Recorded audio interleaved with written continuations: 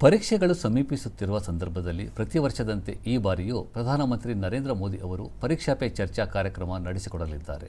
ಇದೇ ಇಪ್ಪತ್ತೊಂಬತ್ತರಂದು ಈ ಕಾರ್ಯಕ್ರಮ ನಡೆಯಲಿದೆ. ಈ ಜನಪ್ರಿಯ ಕಾರ್ಯಕ್ರಮದ ಏಳನೆಯ ಸಂಚಿಕೆಯಾಗಿದ್ದು ಮೈ ಗೌ ಪೋರ್ಟಲ್ನಲ್ಲಿ ಇದುವರೆಗೂ ಒಂದು ಕೋಟಿಗೂ ಹೆಚ್ಚಿನ ಸಂಖ್ಯೆಯಲ್ಲಿ ಜನರು ಕಾರ್ಯಕ್ರಮದಲ್ಲಿ ಭಾಗವಹಿಸಲು ನೋಂದಾಯಿಸಿಕೊಂಡಿದ್ದಾರೆ. ಇದೇ ಇಪ್ಪತ್ತೊಂಬತ್ತರಂದು ದೆಹಲಿಯ ಭಾರತ್ ಮಂಟಪ್ನಲ್ಲಿ ನಡೆಯಲಿರುವ ಕಾರ್ಯಕ್ರಮದಲ್ಲಿ ನಾಲ್ಕು ಸಾವಿರಕ್ಕೂ ಅಧಿಕ ಜನರು ಪ್ರಧಾನಮಂತ್ರಿಯವರೊಂದಿಗೆ ವೇದಿಕೆಯಲ್ಲಿ ಭಾಗವಹಿಸಲಿದ್ದಾರೆ ಎಂದು ಕೇಂದ್ರ ಶಿಕ್ಷಣ ಸಚಿವಾಲಯ ಪ್ರಕಟಣೆಯಲ್ಲಿ ತಿಳಿಸಿದೆ. ಆರರಿಂದ ಹನ್ನೆರಡನೇ ತರಗತಿವರೆಗಿನ ವಿದ್ಯಾರ್ಥಿಗಳು, ಅವರ ಪೋಷಕರು ಹಾಗೂ ಶಿಕ್ಷಕರು ಈ ಕಾರ್ಯಕ್ರಮದಲ್ಲಿ ಭಾಗವಹಿಸಲಿದ್ದಾರೆ.